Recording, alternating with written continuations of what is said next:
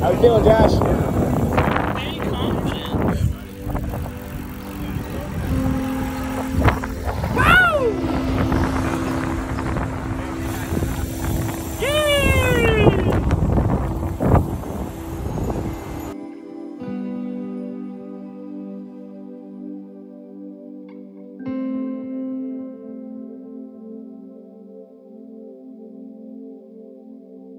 All right, we made it. How you feeling, Josh? Feels so excited. Can you show him the bib number? So Josh is gonna be four, four, two, three, and I am four, four, two, two. All right, so we're gonna take off here in about an hour. We're gonna go see the 200 mile racers take off. Then we take off at seven. So wish us luck. Woo!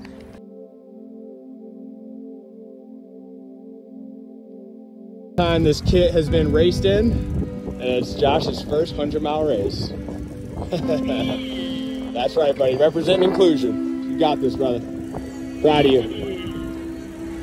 Right, we got our first trek of the day. Mm-hmm.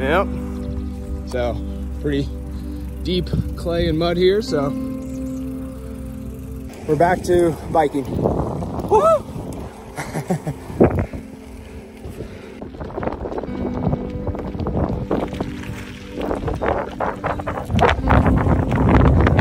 Feeling, Josh? Good. Got good nutrition, good hydration. Four mile walk wore us out, but we're cruising, having a good time. Views aren't too bad. We got a nice breeze, so keep checking in.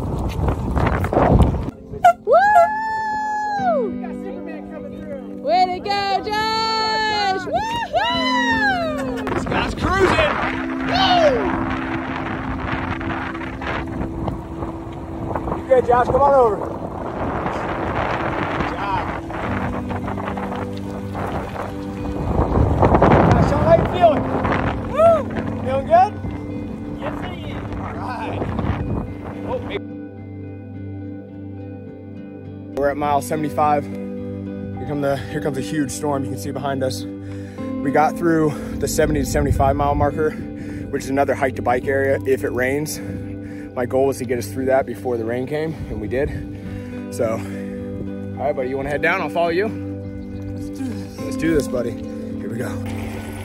We haven't spoke since mile 75. We're at mile 80. I told him, I said, Josh, you got 25 miles to go, buddy. Three quarters of the way in. And he is zoned in. He's just focused, pedaling hard, knows the finish line's close. And this is where our organization separates ourselves. Is our training prepares them for this. These hard moments, these mental battles, these moments when they want to quit and things are hard. And we instill that leadership in them, that self-belief, that perseverance, that resilience to pedal through and push through and not give up.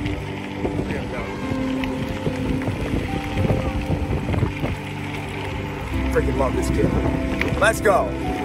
I'm really glad we're going this way. we ain't storm chasers, we're storm runners. Literally running from this storm still.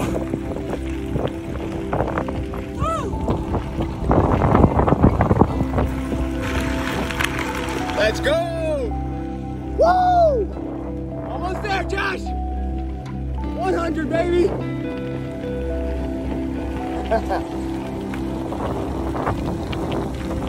How you finish a race?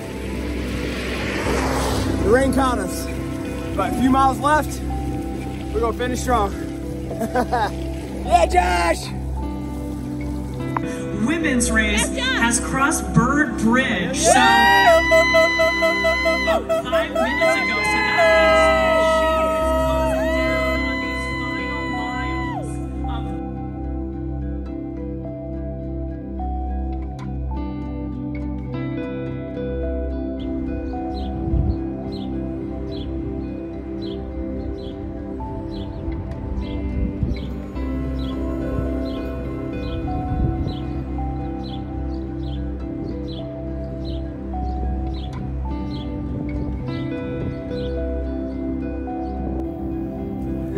bike makes me feel alive.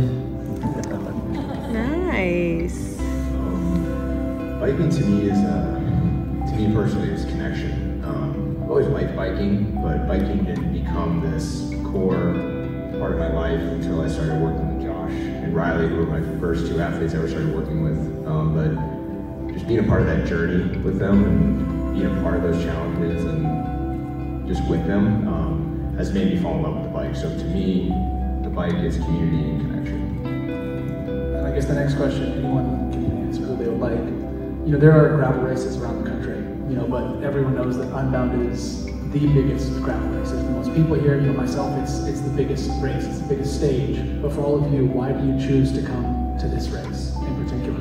Because, you know, surely there's another race somewhere else, but this is this is the the biggest race, the biggest show in, in gravel, whether you're racing, whether you're riding. I mean, I know for you, Chase, this is your first time coming here. I mean, what what is it to come to this race in particular?